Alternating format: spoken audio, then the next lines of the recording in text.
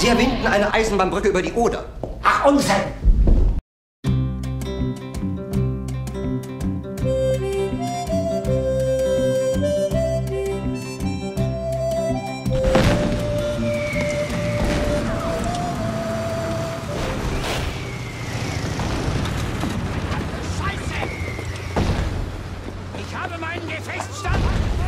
Ich bin hier im Bunker der neuen Reichskanzlei an der Poststraße. Der Führer hat mich zum Kampfkommandanten des Regierungsviertels ernannt.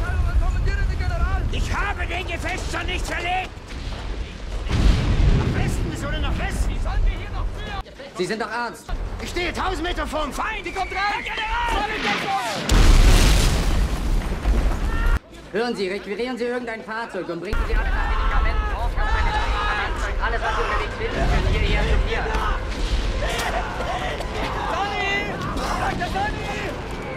Alles, was Sie unterwegs finden, können hierher zu mir. Hallo! Danke, beeilen Sie sich. Meldungen, Herr General? Ich soll erschossen werden. Was? Wieso denn? Man glaubt, ich hätte meinen Gefechtsstand von Südosten vom Feind weg nach Döberitz im Westen verlegt. Wer vernünftig, Herr General? Kommen Sie mit. Jeder Kontakt zum alten Fallschirmjäger ist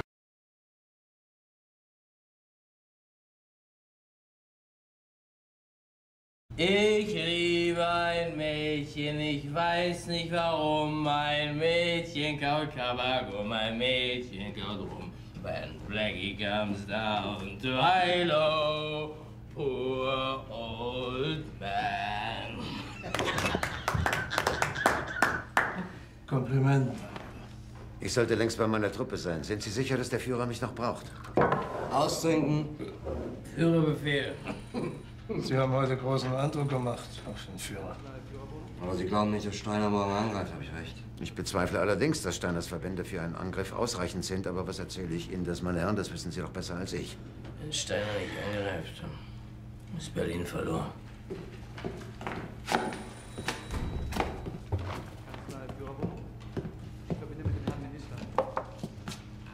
Ich gratuliere, Ihr Vortrag hat den Führer beeindruckt.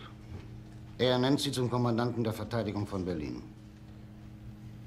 Es wäre besser, er hätte befohlen, mich zu erschießen. Dann ginge dieser Kelch an mir vorüber.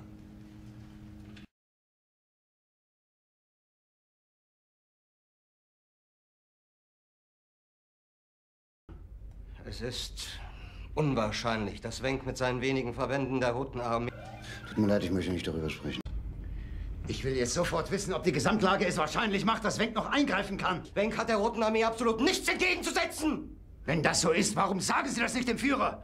Sind wir denn alle verrückt geworden? Glauben Sie im Ernst, der Führer weiß das nicht selbst? Aber er wird niemals kapitulieren. Und damit Sie es nur wissen, wir auch nicht. Ich habe das einmal mitgemacht. Das reicht! Kommen Sie, ich muss hier raus.